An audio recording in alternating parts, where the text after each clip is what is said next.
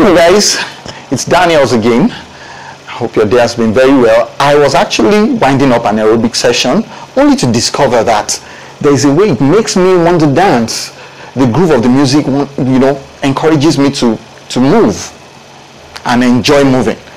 I think this, this can help an, a musician, a vocalist, to enjoy the art of dancing and actually moving uniformly to a rhythm we could deploy that in our various choral groups, in our various um, musical platforms, bands, to help us learn how to move uniformly because this is becoming mainstream, a mainstream feature in any musical, um, um, in, many, in any musical presentation, be it in the church platform or in the gig model, or in the gig model.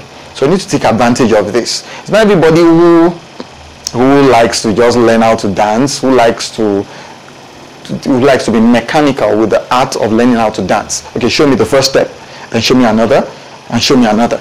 But if one is in within a company, okay, and everyone is trying to move to a particular groove, you know, you get encouraged. You know that it's not just yourself. So I encourage, you know, I, I, I, this is just um, to encourage musicians out there, especially people who find themselves in groups, you know, within a team to know that aerobics, aerobics is um, a tool that one can deploy to engender um, uniform motions, uniform movement in, in, you know, as a feature of music, of a musical presentation.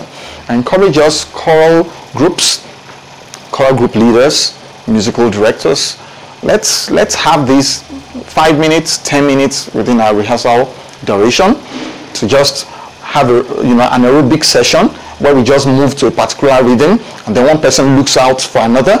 Uh, uh, uh, uh one person looks out for the dance step of another and adopts it and then we could vary we could vary we could take turns in leading the pack another person steps out and then we have a nice time and then you wouldn't know that you've even learned how to dance today i have quite a number of steps that i can deploy that i learned in that manner. Well, we're looking forward to having your comments and um, having your views on this, um, on our perspective regarding how to learn, uh, how to, how to engender uniform motion, uniform movements amongst group of musicians, you know, that are making a presentation.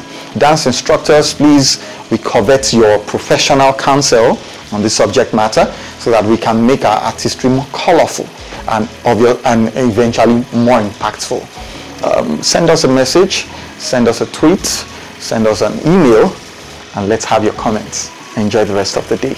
Bye-bye.